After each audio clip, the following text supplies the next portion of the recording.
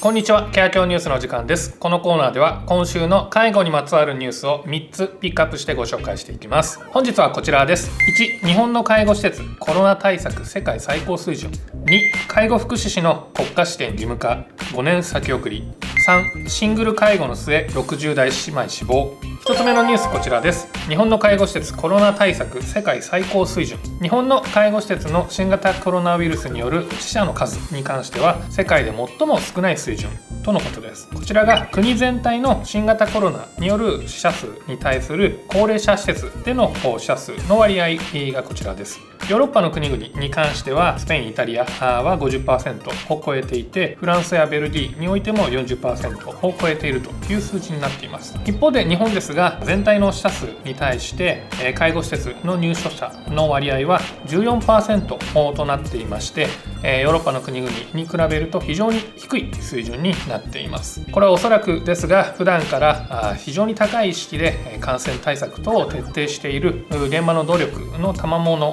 によるものだと思いますこうした努力の結果をより一層世の中にも広めていきたいと思いますし知っていただくとともにもっと評価されていいんじゃないかなというふうに個人的には思っています。2つ目こちらです。介護福祉士の国家試験義務化5年先送り。介護福祉士の養成校を卒業した人への国家試験の義務付けについて経過措置を5年先送りすることが決定いたしました。改めて確認になりますが介護福祉士の資格取得の方法の流れとしては大きく2つあります。一つが現場でスキルを磨く実務経験ルートでしてこちらのルートで資格を取得された方が多いんじゃないかと思います。実務経験ルートの場合は介護福祉国家試験を受ける必要があり毎年1月に行われる試験で皆さんが受験されているという形になっています。一方で大学や専門学校などで学ぶ養成校ルートに関してはもともと国家試験を受ける必要はありませんでした。そして厚生労働省ですが2017年度から養成校ルートの人にも国家試験を求めていくルールに変更するとしていましたがその中で5年の経過措置を設け2022年度から完全に実施をするというスケジュールを予定していました。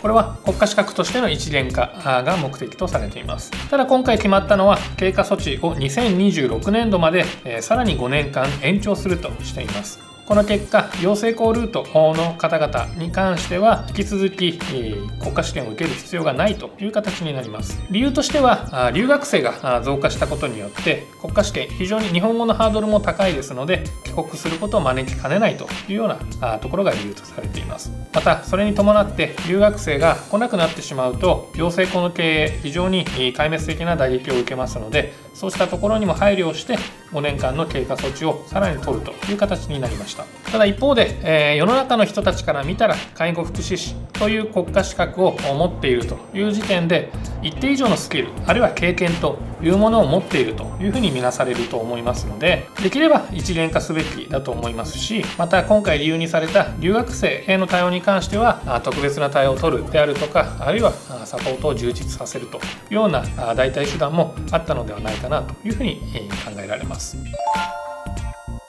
3つ目こちらです。シングル介護の末60代姉妹死亡。東京都豊島区のマンションの一室で60代の姉妹の遺体が発見されました。この2人は脳神経系の難病を患う妹とその妹を1人で介護をしていた姉が2人で暮らしていたと。いうことです。どうやら介護をしていた側の姉が先に死亡し助けを呼ぶことができない妹もその後死亡したというふうにされています。遺体は腐敗をし解剖しても死因は判明しなかったとされています。どうやらこのお二人の生活ですが世間との関わりを断つように暮らしをしていてえー、今回の遺体発見に関しても23ヶ月経過をしていたとのことです。また介護保険やホームヘルパー等の制度は利用せず姉がお一人で介護をしていたとのことです。区の担当者のコメントとしてはとても残念でショックを受けている。もう少し強く提案しヘルパーなどの支援に結びつけていたら結果は違っていたのかとのコメントを残しています。非常にいたたまれないニュースだと思います。また今回は介護保険サービスを利用していなかったことで今回のような結果を招いたと考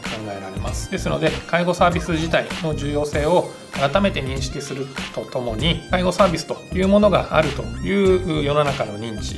より上げていくべきだと思いますし必要な際はどんどん介護サービスを使ってよいというような認識も広めていきたいと思います。今週のニュースは以上です。この動画を見ていただければその週の介護にまつわるニュースを一通りおさらいできるというものを目指していきたいと思いますのでこんなニュースも取り上げてほしいというご意見ございましたら是非コメント欄の方にお願いいたします。最後までありがとうございました。それではまた来週。さよなら。